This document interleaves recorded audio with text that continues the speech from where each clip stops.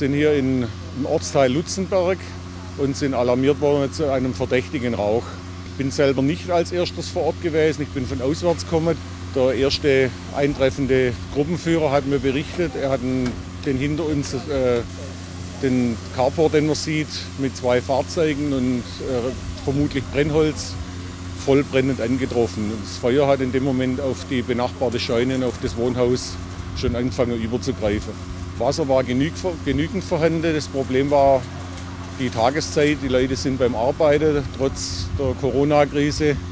Und im ersten Moment war Personalsproblem. Deshalb hat man sich ja erstmal konzentriert, die Nachbargebäude zu schützen.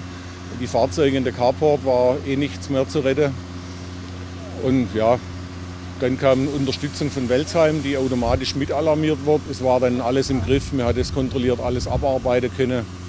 Und dann war die Lage in relativ kurzer Zeit im Griff. Es waren insgesamt drei C-Rohre und ein B-Rohr, einfach um die Nachbargebäude zu schützen. Das war in dem Moment das Wichtigste.